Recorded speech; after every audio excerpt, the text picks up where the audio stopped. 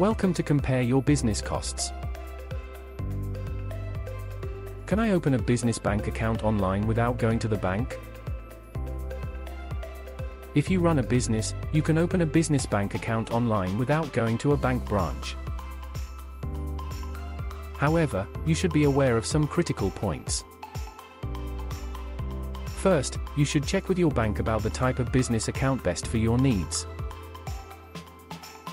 You might need to maintain a minimum balance before being approved. You may also have to wait a few days to receive your debit card and checks.